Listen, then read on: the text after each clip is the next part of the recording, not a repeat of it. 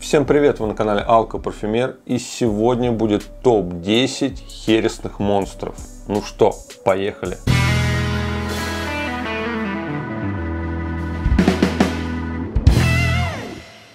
Ну что ж, давайте начинать. И сегодня будет топ виски, которые выдерживались в бочках из-под хереса. Причем вторая пятерка это будут виски, которые до выдерживались в бочках из-под хереса, либо это была комбинация бочек. А первая пятерка это будут виски, которые выдерживались только в бочках из-под хереса, либо это была минимальная комбинация, то есть с небольшим дополнением бочек из-под риохи, например, либо из э, нового дуба.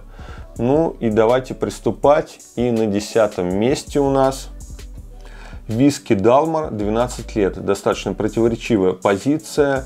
Как по мне, не стоит своих денег, недостаточно интересный, но при этом достаточно сильное э, влияние хересных бочек. И если бы он стоил подешевле, то это был бы достойный виски, поскольку он достаточно приятный и питкий.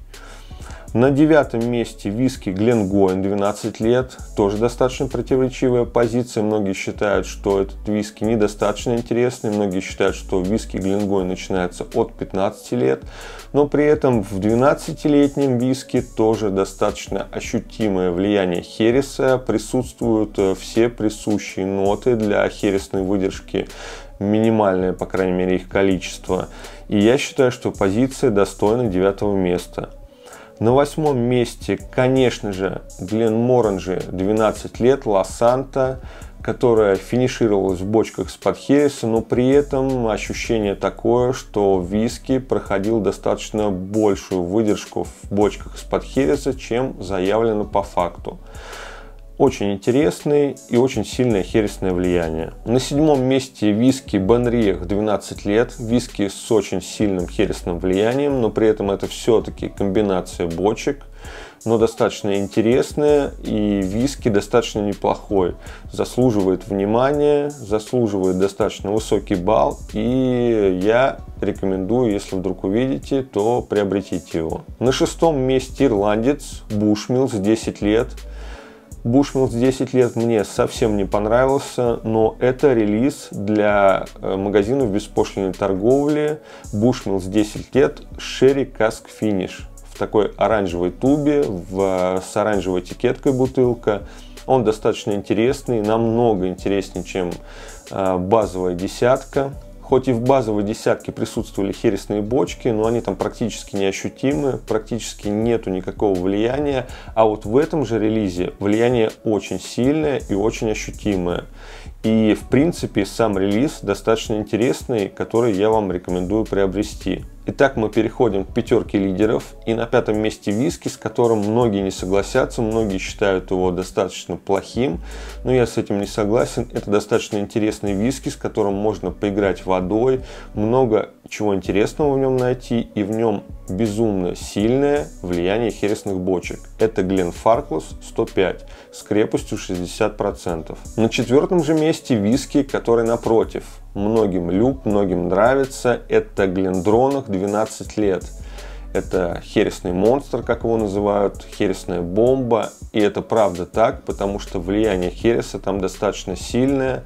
Интересные виски. У меня на обзоре был виски, на котором еще написано, что он не проходил холодную фильтрацию. И это было, конечно, безумно вкусно, приятно, питко и интересно. Итак, мы подошли к тройке лидеров и на третьем месте Аарон Шерри Каск Бочковой крепости. Потрясающий виски, с которым много времени можно просидеть, много часов, я бы даже сказал, с которым можно поиграть водой, много интересного в нем найти, ковыряться до бесконечности. Потрясающий, еще раз повторюсь, виски на третьем месте. На втором месте, конечно же, Гленалки 10 лет тоже бочковая крепость. Э, тут у нас не только выдержка в хересных бочках, тут комбинация, есть еще выдержка в бочках из-под риохи и из нового дуба, но она минимальная. Тут в основном чувствуется именно хересное влияние, и оно безумно сильное. Все самые приятные, интересные ноты, которые дает хересная бочка, они в нем присутствуют. Очень хороший виски, отличный виски, в котором много можно найти, много можно с ним просидеть часов, можно поиграть с ним водой. Я обычно этим не занимаюсь, но с ним это не возбраняется. Достаточно интересный и вкусный виски. Ну и на первом месте, конечно же, как вы успели догадаться, то, что стоит у меня на столе. Это Глендронах Парламент 21 год. Это самый настоящий монстр хересный, самая настоящая бомба хересная. Виски, с которым можно просидеть вообще сутки.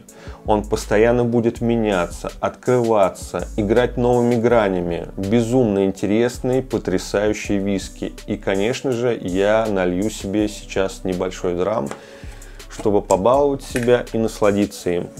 Как вы успеете сейчас заметить, бутылочка достаточно у меня поубавилась, хотя я достаточно редко его наливаю, но угощал своих хороших друзей им еще.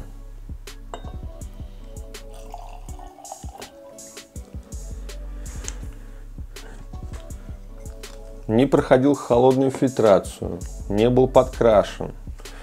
То есть это натуральный цвет.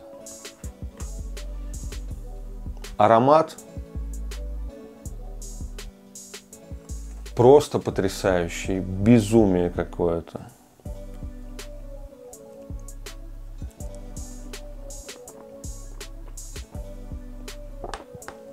Вкус – это просто взрыв рецепторов. Обволакивает весь рот, язык, небо и дает просто безумное наслаждение огромной палитры нот вкуса. Всем рекомендую, обязательно приобретите, не пожалейте денег, попробуйте его. Ну а на этом мы будем заканчивать этот топ. Не забудьте подписаться, если вы только впервые зашли на этот канал, так как вас много всего интересного ждет впереди. Нажмите колокольчик, чтобы не пропустить новое видео. Не забудьте пройти в описании к этому ролику. Там ссылка на мой Дзен канал, где помимо этих видео еще мои письменные заметки. Ссылка на телеграм канал, в котором вся актуальная информация. Также ссылка на донаты, номер карты, если вдруг э, захотите помочь развитию канала.